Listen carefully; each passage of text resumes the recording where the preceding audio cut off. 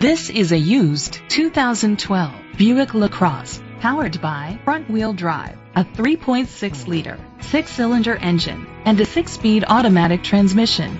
With fewer than 35,000 miles, this vehicle has a long road ahead. The features include push-button start, leather seats, heated seats, Bluetooth connectivity, Sirius XM satellite radio, digital audio input, remote start, steering wheel controls, memory seats, a premium sound system.